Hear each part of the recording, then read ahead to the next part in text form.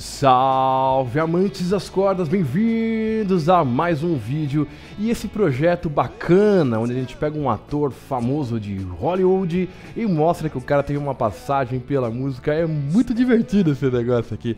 Eu tenho certeza que você vai pirar nesse vídeo. Então já deixa o teu like pro vídeo ficar felizão, aquele dedinho que você clica ali, ó. Tá conhecendo o canal pela primeira vez? Então venha fazer parte, se inscreva nele e não se esqueça de ativar as notificações, pois esse quadro já teve o Johnny Depp, o Steven Seagal, enfim, é muito bacana, você tem que saber todo mundo que toca alguma coisa lá, que é muito divertido esse rolê. E sem mais delongas, no vídeo de hoje estarei falando sobre o ator incrivelmente incrível que é o Keanu Reeves. Então vamos lá, solta a vinheta e vamos pro vídeo. Não tem vinheta nenhuma, velho. Vamos pro vídeo né?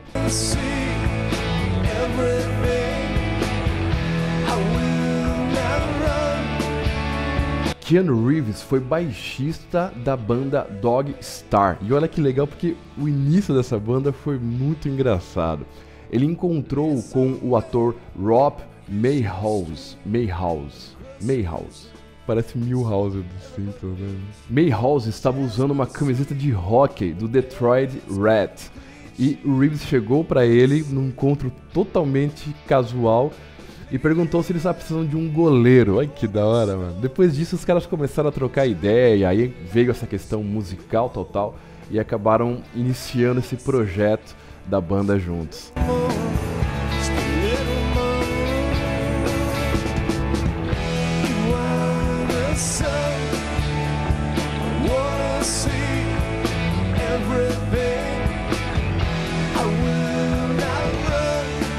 ano depois disso, em 1992, o Greg Miller entrou para a banda como guitarrista e, e, vocalista. E é legal que eles fizeram turnês grandes nos Estados Unidos e na Ásia.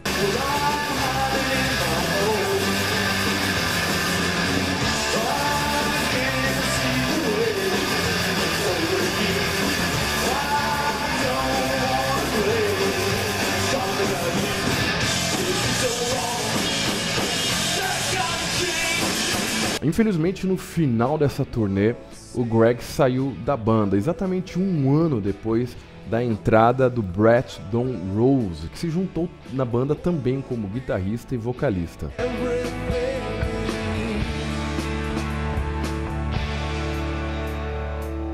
E é legal que essa primeira formação da banda tinha o nome de Small Fecal Matters, que é pequena matéria fecal, alguma coisa assim. É um nome totalmente característico para uma banda grunge, né? Que os caras tinham uma pegada grunge total ali.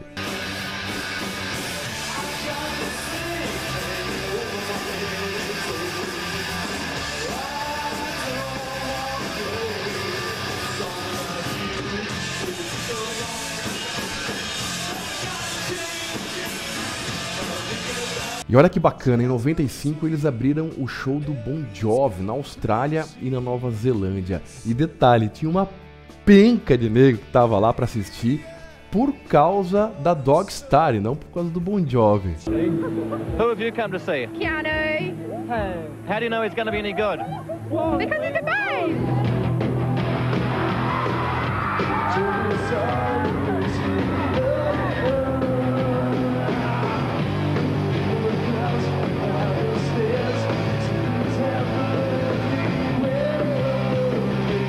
You buy one of their records should they ever release one? Probably not. Are you a fan of Keanu's? No. Are you here for Bon Jovi? Yes. Then why are you wearing a t-shirt with Kiss on it? Because it's not dog stuff. What? It's not dog stuff. It's Kiss. Yeah. Why Kiss to Bon Jovi? Because I don't have a Bon Jovi shirt.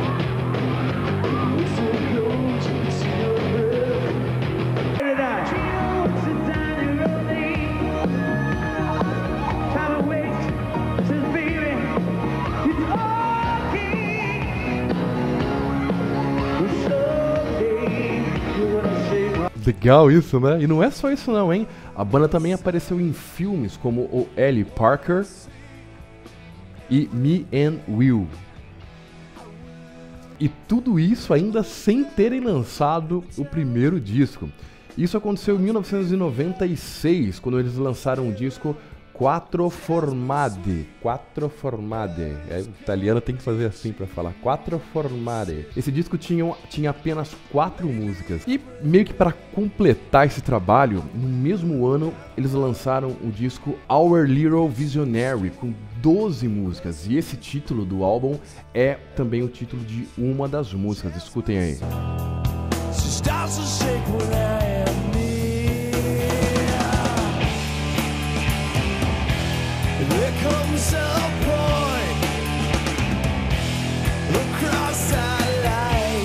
Bacana, né?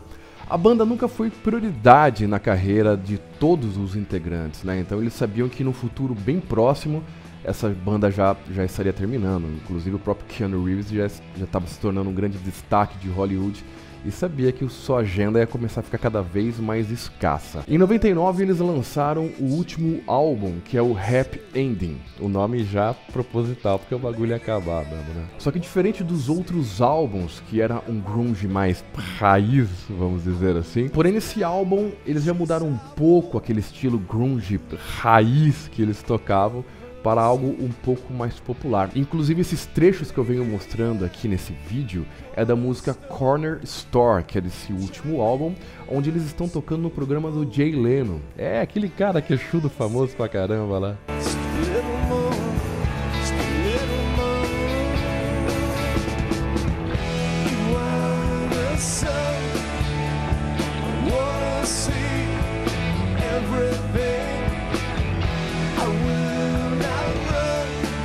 A última apresentação da banda foi em outubro de 2002 no Japão. Depois disso, Don Rose começou a tocar como artista solo, participou também de uma banda em Berlim e hoje ele escreve música para cinema e televisão.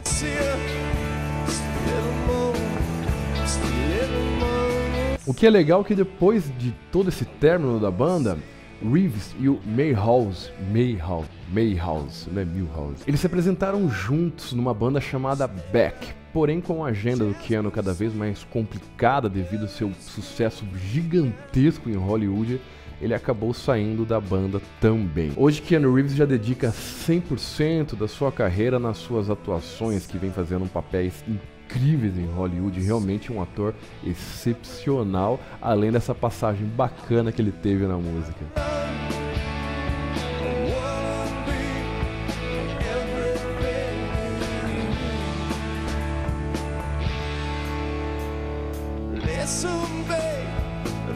Isso aí então, pessoal. Espero de todo o meu coração que vocês tenham gostado desse vídeo. Não se esqueçam do like, que é muito importante. O vídeo fica felizão, ele fica lacudo. Ele sai falando pra todo mundo. Olha, eu tô cheio de like aqui, eu tô feliz pra burro no negócio aqui, pelo amor de Deus. E se você está conhecendo esse canal pela primeira vez, venha fazer parte, se inscreva, ative as notificações para não perder o próximo vídeo, pois só tem coisa bacana nesse canal e eu tenho certeza que vocês vão pirar. Gente, muito obrigado pelo carinho. Eu vou deixar na descrição descrição desse vídeo a playlist dos outros atores que eu já fiz esse trabalho, que foi o Johnny Depp.